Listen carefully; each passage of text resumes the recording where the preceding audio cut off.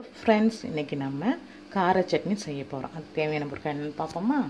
சின்ன வெங்காயம் ஒரு முப்பது கிட்ட ஒழிச்சு வச்சுருக்கேன். அடுத்து பூண்டு ஒரு பதினஞ்சு பல் காஞ்ச மிளகாய் நாலு தக்காளி வந்து நாலு. நான் சின்னது ரெண்டு பெருசு ரெண்டுன்னு எடுத்துருக்கேன்.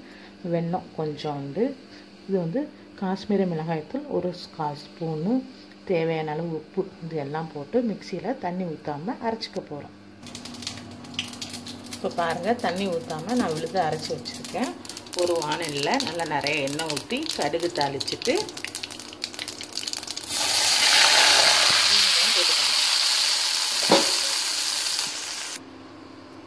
பாருங்கள் நான் விழுது அரைக்கும்போது ஒரு கால் ஸ்பூன் வந்து ஜீரகம் வந்து போட்டு அரைச்சிக்கிட்டேன். இப்போ பாருங்கள் எல்லா விழுதும் போட்டாச்சு. இது பச்சை வாசனை போகிற வரைக்கும் நல்லா வதக்கிக்க மூடி வச்சு இப்போ வதக்கிக்க போகிறோம் பாருங்கள் நல்லா பச்சை வாசனை போகிற வரைக்கும் நல்லா வதக்கியாச்சு.